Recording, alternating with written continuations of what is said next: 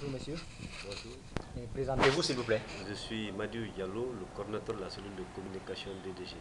Voilà, et actuellement à Conakry, euh, nous remarquons des délestages. euh, le courant vient de façon irrégulière. Alors, euh, comment peut-on expliquer cet état de fait? Bon, cet état de fait, c'est très simple. Vous devez comprendre que nous sommes actuellement en période d'étiage. Et l'étiage, c'est quoi? C'est parce que la, le courant, la fourniture de courant est, c'est, à, à partir des barrages hydroélectriques, notamment Garafiri, Grande Chute, euh, Kalita. Kaleta.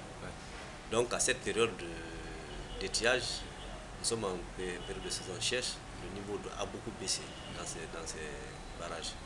Donc, nous, pour compenser ce déficit de production, nous utilisons les groupes thermiques, notamment la centrale thermique de Kaloum et celui de Kipé. Les deux centrales donnent 500 MW de puissance installée. Vous n'êtes pas sans savoir que la demande est supérieure à l'offre actuellement. Parce qu'avec le déficit de- barrages hydrauliques, production, comme je vous ai dit, pour les d'eau, la capacité de production actuellement ne peut pas couvrir tous les besoins de la clientèle. Et c'est pourquoi nous sommes obligés d'utiliser cette formule pour pouvoir servir les gens en fonction de la disponibilité de production actuelle. Ouais. C'est pourquoi ce délestage. Ah, Ok, ok. Par rapport au barrage de Kalita, par exemple, euh, il y avait eu un battage médiatique, une grande publicité autour de ça. Les Guinéens pensaient qu'avec Kalita, que ça, ça en était fini des problèmes. Et comment ça s'explique concrètement? Quelle est la puissance de ce, de ce barrage et comment ça, comment ça marche? La puissance installée de ce barrage, c'est 240 MW. Le plus grand barrage de la sous-région actuellement en hydroélectrique. Mais vous savez, parallèlement, pendant que nous sommes, la volonté que nous avons, c'est de fournir le courant avec toute la puissance qu'il faut. Mais l'environnement, nous sommes victimes de l'environnement, la destruction de l'environnement, l'écosystème est en train d'être détruit. Vous, les journalistes, vous le savez très bien, voilà, on est en train de couper tous les arbres. Le couvert végétal qui protégeait nos rivières, surtout dans le système SAMU, c'est parti. Donc, et ce sont ces rivières-là qui se jettent sur les fleuves. Si ces rivières n'existent plus, il va sans dire que les fleuves vont baisser de niveau. Actuellement, si vous constatez la, la période de, de saison sèche a augmenté avant, dans les années 70, c'était 6 mois de saison sèche, 6 mois de saison de pluie. Oui, oui. Donc la pluie était abondante, elle était là. Donc elle pouvait couvrir, même en période de, de- de saison sèche, le- le- le- le- l'eau est là suffisamment. Donc les barrages sont conçus pour donner 24 heures sur 24 pendant toute l'année. Mais nous sommes victimes de la déforestation. Et ça, on s'est indépendant de notre volonté. C'est ce qui fait qu'actuellement, à- en période de, de tiage, euh, saison sèche, le niveau d'eau baisse. Même si vous constatez les puits maintenant, tous les puits ont séché, ont tari. Donc c'est ça là. Ouais, pour le cas de Kalita, c'est 240 MW. Par exemple, en saison pluvieuse, c'est 40 240 MW qui sont produits. Absolument, vous l'avez senti, on a donné 24 heures sur 24 tout le monde et dès que les pluies vont commencer à tomber, on va revenir sur le même système 24 heures sur 24. Donc, à, Parce que ça donnera sa puissance maximale. ouais, à- à quel temps donc on pourrait s'attendre à une certaine régulation du courant, une certaine régularité si vous voulez du courant? Bon, vous savez, je ne suis pas de la météo, c'est la météo qui peut... Il y a des années où la pluviométrie est vous, bonne. êtes, vous êtes un technicien Il y a quand des même. années, oui, le technique, sur le plan technique, nous sommes prêts. Les machines donnent très bien s'il y a l'eau. C'est ce que nous pouvons vous rassurer sur le plan technique. Mais sur le plan de la pluviométrie, s'il ne pleut pas, c'est notre faute. Nous avons besoin de l'eau. Et l'eau, si on a la chance que cette année, qui est la, plus bonne, la est bonne, eh bien, la période d'alimentation 24 heures va se prolonger. Nous prions Dieu que vraiment qu'il y ait beaucoup de pluie. Et à partir du mois de mai, s'il y a la pluie qui commence, il n'y a pas de problème. Mais si ça commence tardivement, en tout cas, nous sommes en fonction de, la, de les intempéries.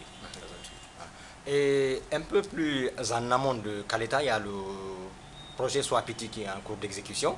Est-ce que vous pensez que quand ces travaux seront finis, que ce sera un lointain souvenir, euh, tous ces délestages-là Bon, en tout cas, il y aura une amélioration très très significative parce que le barrage soit petit, quand il produit, eh bien, C'est l'eau plus de turbinée- 500 l'eau mégawatts, je tur- pense, Bien hein. sûr, l'eau turbinée viendra vers Garafi, et vers Swapiti, Ouais. et vers Kalita, oui. Et avec Kalita, même en période en ce moment d'étiage, c'est-à-dire en période de saison sèche, il peut produire sa capacité maximale. Donc si nous sommes avec, nous avons grand espoir qu'avec Swapiti, eh, évidemment, le problème de l'électricité sera réglé. Ok, vous avez un mot à lancer euh, à l'endroit des populations, des consommateurs du courant? Oui, c'est de dire aux consommateurs d'être sereins et de compter sur le DG. DG est en train de faire le maximum pour leur satisfaire. Donc, tout ce que nous pouvons leur dire, c'est d'être euh, d'être patients.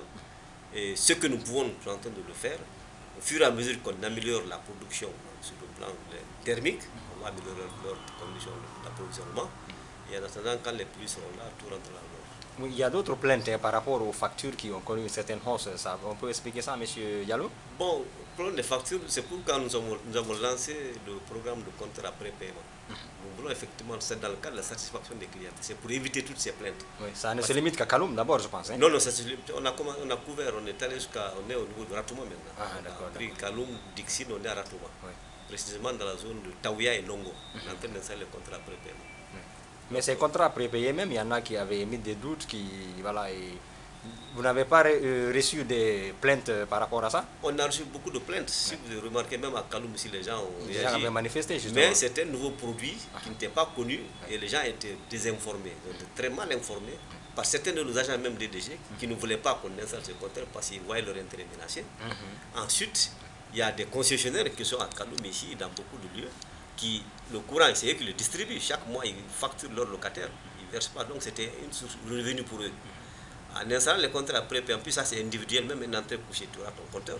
Ça, ça va faire baisser leur chiffre d'affaires et leur intérêt va, va partir. Donc, pour toutes ces raisons, les gens ont cherché à intoxiquer la population, la clientèle. Ils n'ont pas compris. Donc, il a fallu une vaste sensibilisation, une campagne de sensibilisation. Et finalement, Dieu merci, aujourd'hui, les gens ont compris qu'avec le contrat après paiement, ils sont beaucoup plus à l'abri parce qu'ils ne payent que ce qu'ils consomment. Il y aura Donc ce ne sont pas des compteurs qui sont sciemment euh, accélérés pour... euh, Pas du tout. Pourquoi on va le faire? Pourquoi pas du tout? Plutôt c'est pour aider la clientèle. Actuellement, on facture, au- on facture au forfait. forfait, justement. On peut vous coller n'importe quel kilowattheure. Vous n'allez pour pas vous vérifier. Peut-être qu'on vous surfacture. C'est pourquoi, justement, comme vous le dites, les gens se plaignent qu'ils sont surfacturés.